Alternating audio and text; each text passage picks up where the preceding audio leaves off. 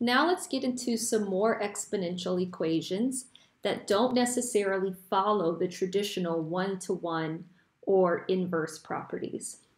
If I look at number 36 here, first I can't use one-to-one -one because these bases are not the same. I also can't use the inverse property because log base 2 will not cancel out e. So in this instance, what I can do is focus on trying to do something where we can bring down those exponents.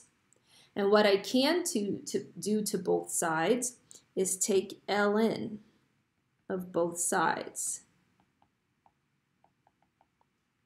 Now, ln of e does cancel, and then I can use properties of logarithms to bring this exponent down.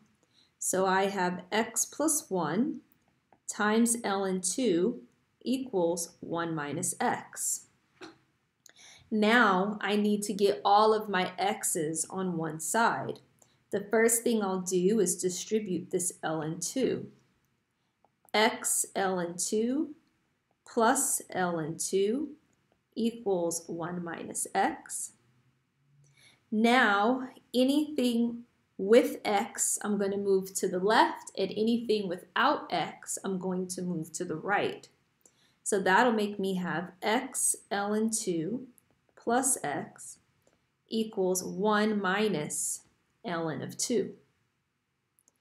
Now what I could do on the left side, since I'm solving for x, I see that there is a GCF of x on that left side.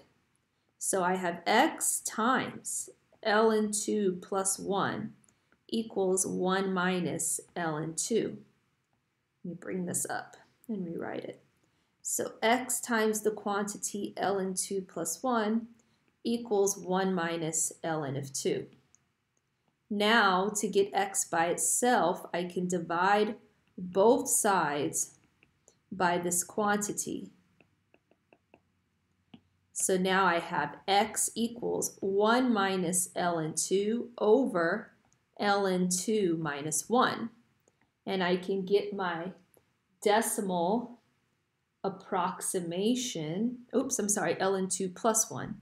So now I can get my decimal approximation in my calculator 0.181.